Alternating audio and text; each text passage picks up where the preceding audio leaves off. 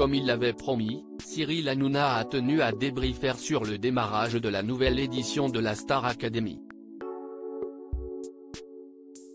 Si l'animateur de TPMP s'accorde à dire que les audiences étaient assez bonnes, il n'a pas hésité à critiquer ouvertement quelques choix stratégiques.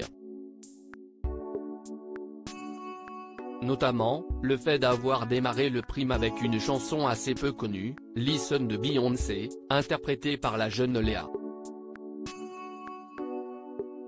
Un constat que partage Gilles Verdet, elle est complètement seule. Je trouve ça poussiéreux et lent, commence-t-il par lancer. Et une chose est sûre, le chroniqueur n'a pas été tendre avec le programme. Il est revenu sur le casting de la Star Academy, qui selon lui, n'est pas du tout adapté, et vous le soulignez, il y a un vrai problème sur le casting. On a l'impression que tous ces jeunes, ils sont prêts pour une comédie musicale. Ce ne sont pas des vrais gens.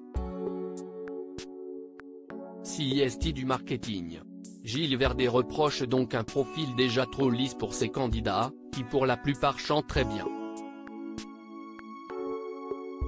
Et lorsqu'on lui parle des bonnes audiences réalisées par le prime, il rétorque, ça ne va pas durer parce qu'on ne va pas s'attacher aux candidats.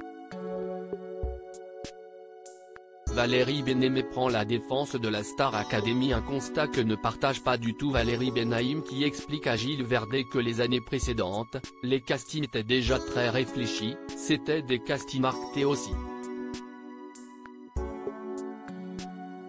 On avait pris Jean-Pascal parce que justement, il ne savait pas chanter.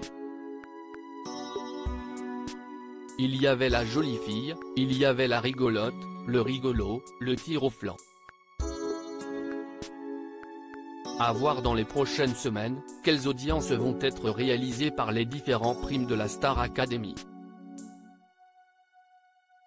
L'audience des quotidiennes sera aussi un excellent indicateur pour connaître la popularité de la nouvelle saison du programme.